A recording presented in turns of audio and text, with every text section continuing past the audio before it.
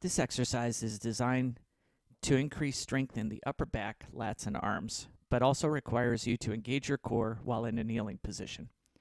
Start on both knees under the V-grip handle attachment on the cable machine.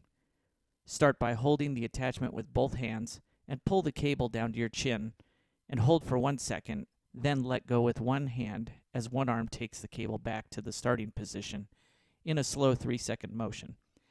Keep the chest forward throughout. After doing 6 to 10 repetitions, switch arms and return the cable to the start position with your other arm.